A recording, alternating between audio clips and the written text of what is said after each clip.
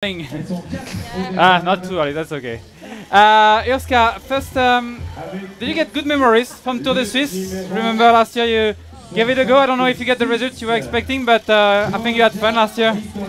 Uh, yeah, definitely good memories of my performances. Uh, a bit worse memories, of course, with the passing of Gino. But yeah, um, last year it went way better than expected. Uh, maybe this year I'm putting a bit more expectations on myself to to do even better. But yeah, you never know. It's cycling. That's why it's so exciting, and it can go your way or it's uh, you miss one corner. And but yeah, I'll do my best and my team will do all they can that uh, we get a good result out of this race.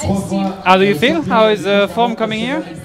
Yeah, it's been really good. Uh, I did some good trainings, and uh, yeah, like I said, we're coming in here. I think with a really strong team overall. So we have cards to play and all different kinds of their terrain and uh, yeah the competition is strong here all the best girls uh, are here but yeah we can try and surprise them and what about today? Start straight uh, uphill actually.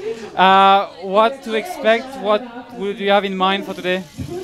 I think it will be hard right from the start. Then it's a long downhill. Uh, we'll see what happens uh, there. Um, but yeah, then it's a long climb to the finish, and uh, I think there is where really the legs will will count. And uh, I hope we have numbers there. But yeah it's just a race.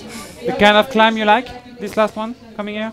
Yeah, it looks pretty steady, quite uh, hard of a gradient, uh, and yeah, the length is also good for me, not too explosive, but um, yeah, we'll have to see how the legs are.